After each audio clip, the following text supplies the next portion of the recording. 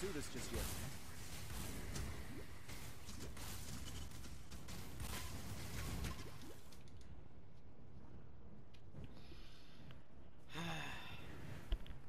This is pure PlayStation 4.